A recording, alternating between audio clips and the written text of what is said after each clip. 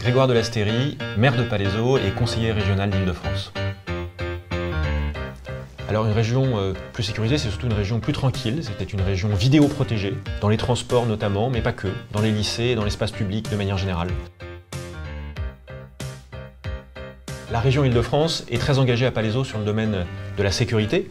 Euh, elle a euh, cofinancé une grande partie des caméras de vidéoprotection qui sont installées depuis cette année. Elle a cofinancé également de nombreux équipements de la police municipale de Palaiseau on s'occupe euh, concrètement et quotidiennement euh, de la tranquillité des, franciliens. Je m'occupe euh, aussi des questions de recherche et d'innovation sur le plateau de Saclay.